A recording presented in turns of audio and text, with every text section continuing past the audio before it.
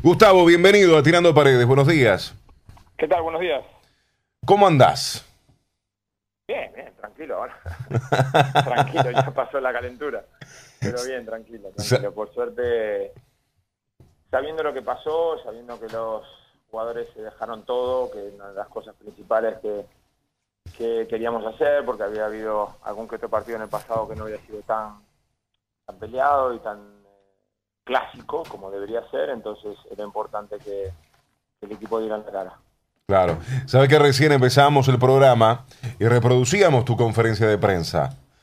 Y la verdad, hiciste algo que por, los, que, por los, técnicos, primero que nada, no hacen. A ver, decir que el árbitro se equivocó, bueno, eso es parte de, parte del juego. Lo dicen los jugadores, lo dicen los árbitros, lo dicen los dirigentes. Pero ir a una conferencia de prensa y mostrar la jugada, la verdad, Gustavo, fuiste muy ocurrente. Bueno, lo que pasa que eh, a veces cuando uno analiza el fútbol, y ustedes que no analizan, me imagino que bastante, cada uno tenemos una forma de verlo y cada uno una forma de analizarlo. Hay gente que usa muchas estadísticas hoy en día, hay otra gente que, usa la parte ofensiva, cuántas ocasiones creas, o sea, eh, por lo que he notado, esto es una opinión mía propia, no, no estoy acusando a nadie, estoy diciendo en líneas generales, hoy, hoy en día es más noticia lo negativo, o sea, lo muy, muy positivo, o sea, un gol espectacular, un jugador que hace tres goles, o sea, algo espectacular, o todo lo negativo. Entonces, cuando eh, no tenés posesión es porque el equipo rival tuvo más posesión que vos. Cuando tenés posesión es porque no tiraste al arco lo suficiente, entonces tiraste por al arco. El partido que tiraste al arco y tuviste posición es porque no hiciste muchas faltas. Entonces, cuando se torna tan negativo, digo, bueno, estamos hablando de cualquier cosa y no estamos hablando de la realidad que es el partido de fútbol. Un clásico, un clásico peleador nacional, que no se juega nada, que va a definirse por un error o por una jugada aislada que lamentablemente el error es arbitral y nos perjudica. Entonces yo lo que quería es que pusieran eso. Entonces digo, bueno, la mejor forma para que hablen de eso es llevar la computadora y mostrarle la jugada. Claro, claro. vamos a hablar de lo importante, vamos a hablar de planteamientos, de cambios, porque al fin y al cabo lo que definió el partido fue esa decisión arbitral. Eh, Gustavo, eh, ¿la prensa hoy refleja justamente lo que vos pretendías establecer en la conferencia? Bueno, yo, a ver, yo hace muchos años, yo, yo siempre digo lo mismo, yo cuando era joven compraba todo. ¿no? Eh, recortaba todo con mi madre, hacíamos álbumes, me informaba de todo.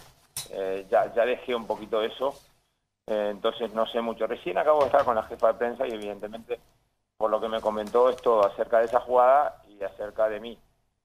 Que algún palito me estoy comiendo, ¿no? Por hacer lo que hice y decir lo que dije. Claro. yo soy como yo soy.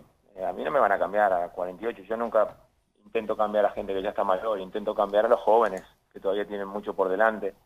Me intento controlar más, hay muchas cosas que con la experiencia lo llevan mejor, pero soy como soy. Y llevamos tres partidos que han pasado cosas que pueden definir una temporada o mi posición al frente del club. Claro. Entonces, como dice todo el mundo, llega un momento que basta, ¿no? O sea, lo tengo que decir, no me la como más. Uno trata de ser eh, lo más políticamente correcto posible, pero con la honestidad por delante. Vos sabés que eh, tengo un amigo eh, que sigue mucho tu carrera y justamente me decía eso, en estas primeras fechas, cómo los errores arbitrales lo han complicado al equipo. Claro, nosotros jugamos un partido local con el Deportivo, que hay una mano muy fácil de cobrar en tu área, o sea, en el área del Deportivo, una pelota que la meten al segundo palo, la bajan, le queda de frente a un jugador y tiene defensa, con los brazos abiertos y le pegan la mano clarísimo. O sea, es un penal muy fácil de dar. Claro. O sea, los brazos extendiendo el, el, tronco, el radio de movimiento. Claro, por eso te digo, yo digo, va, da, no te digo, empataste, terminamos partido en la Silvatina, primer partido local, que te dan el penal y ganás, cambia todo.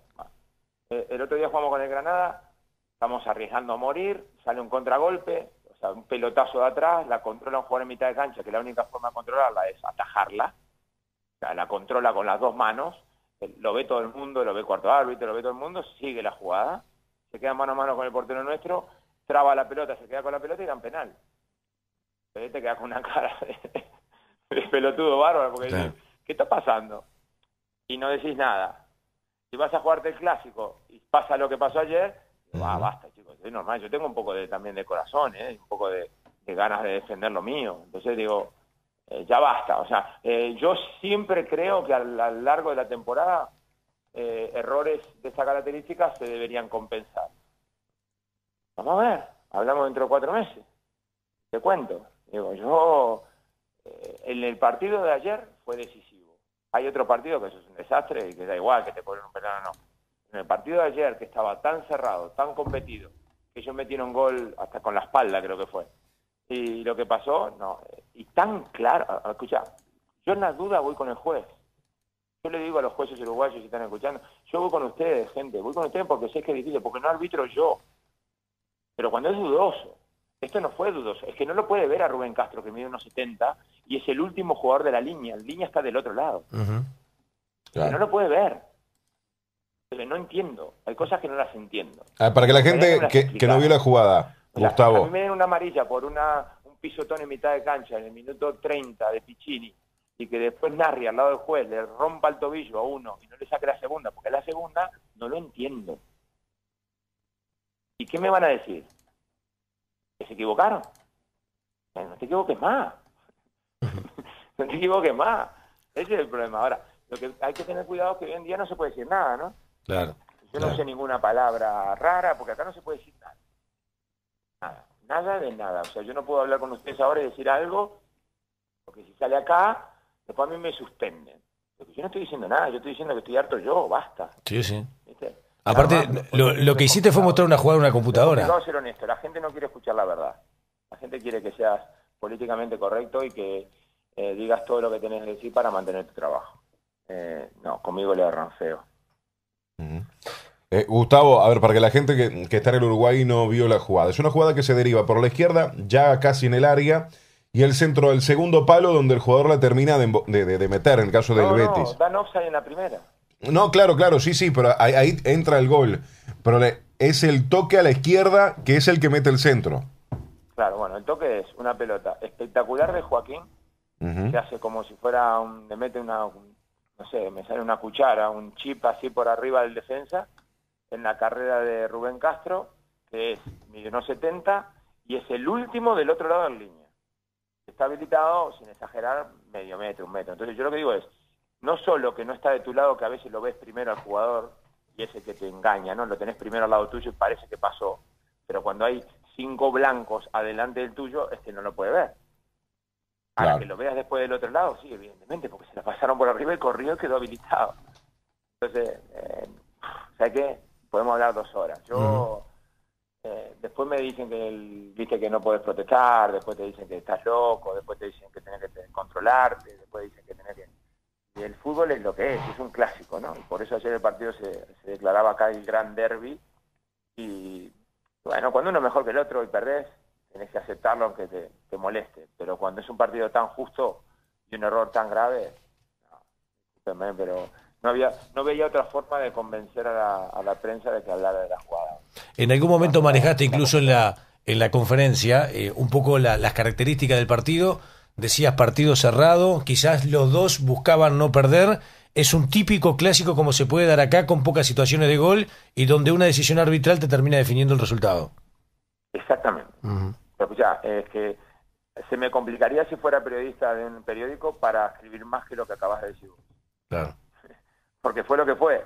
O sea, evidentemente ellos jugaban de local, tenían unas obligaciones más grandes, son un equipo que viene en una mejor posición, jugando Champions League, o sea, en ese aspecto puedes manejar las diferencias entre un equipo y otro, pero al ser un clásico, como todo el mundo sabe, todo se iguala.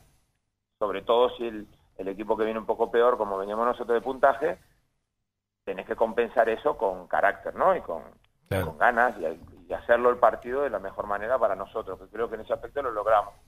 Después te puedo decir que sí, me hubiera gustado jugar más, me hubiera tenido más chance de gol, todo eso es muy lindo, pero son clásicos. O sea, que los que jugaron los clásicos saben que, es complicado eso, sobre todo cuando los equipos están compitiendo y se les complica para crear, porque si creas mucho capaz que te, te quedas corto atrás, ¿no? Entonces fue, fue ese partido de, no te voy a intentar ganar, pero sin perderlo.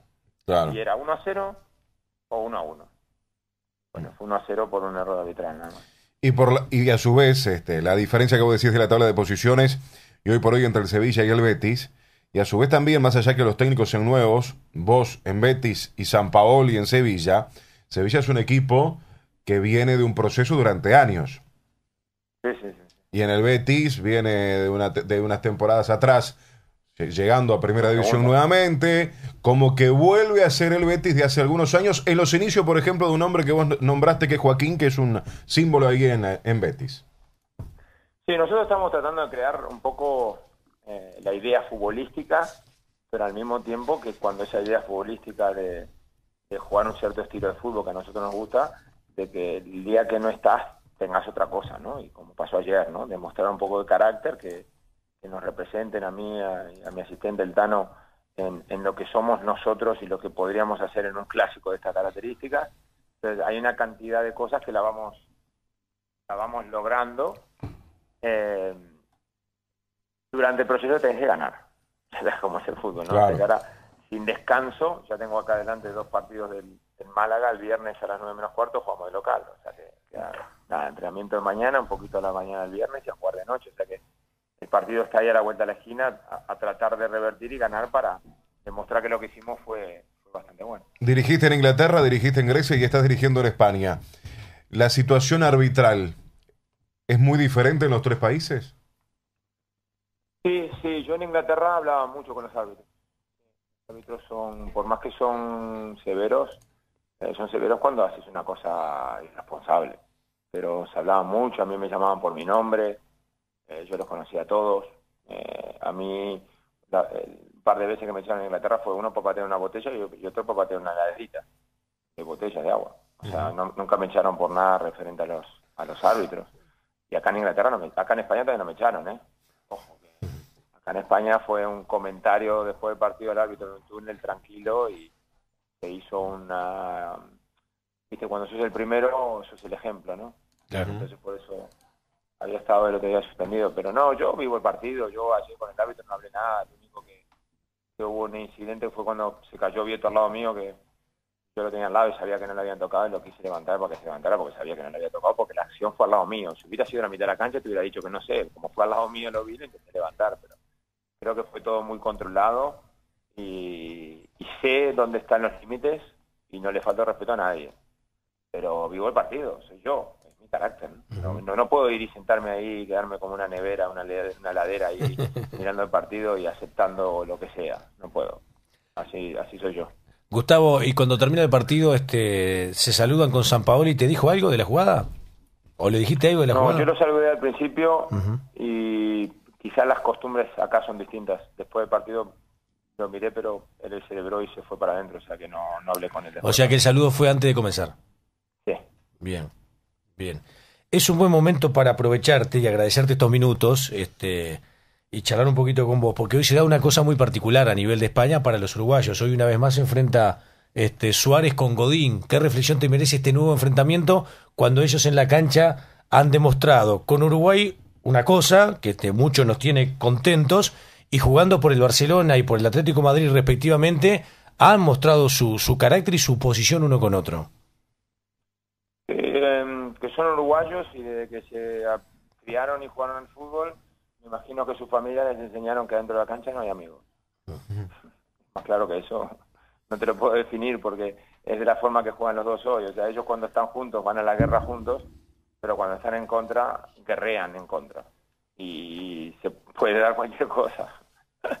la verdad que es una situación que es complicada de manejarla porque hoy entre comillas, te puedes pegar y mañana te tienes que defender. Pero bueno, es la ley del fútbol y cuando uno la tiene clara y sabe que es para defender lo suyo, el otro no se tiene que poner mal. ¿no? Además hay como una especie de eh, predisposición que todo el mundo va a estar un poco pendiente de los roces que se puedan dar o no durante el partido, ¿no? Porque de hecho ya ha pasado. Claro, pero digo, a ver, eh, de parte de Godín eh, es bastante fácil, ¿no? Porque vos sos defensa de un equipo y estás jugando contra uno de los mejores delanteros del mundo. Claro. ¿Qué vas a jugar? ¿A no tocarlo? Sí, claro. eso es fácil. o sea, él tiene que ir a competir. No, el problema que tenemos del otro lado es el carácter de Luis, que tampoco se va a quedar corto, ¿no? Porque yo no creo que si se diera la misma circunstancia con Neymar, Neymar le fuera a pegar a Godín una vez, jamás, o sea, imposible.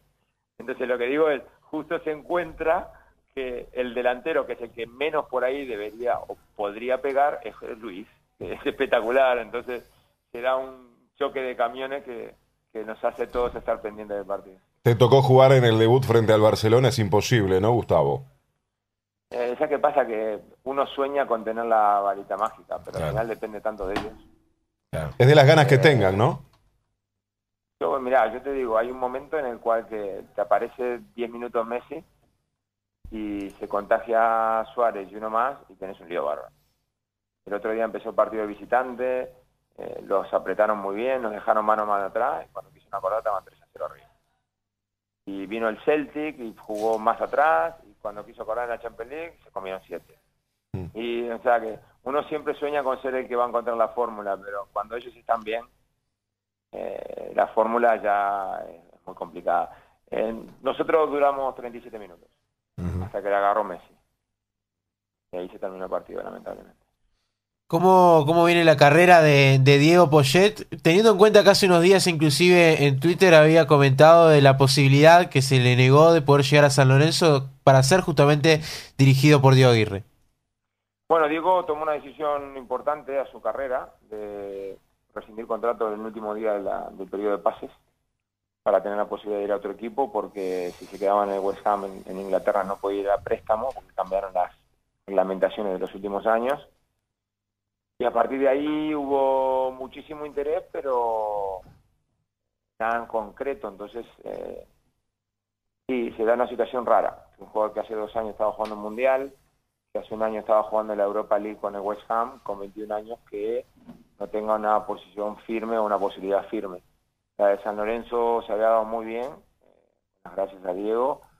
Eh, el problema con una reglamentación interna de que hay que apuntar los jugadores antes del 25 de agosto en las oficinas de la AFA eh, y tenés una semana para negociar a los que están con contrato o dos semanas para negociar con los que no estaban con contrato, se quedó con el camino por el hecho de que Diego no estaba en la lista antes de, antes de tiempo. Claro. Eh, fue una lástima porque estaba con ganas, porque quería jugar al mejor nivel y hoy por hoy a veces uno piensa en la Liga Argentina y va mucho, mucha gente a ver porque se salen jugadores continuamente para, para todo el resto del mundo.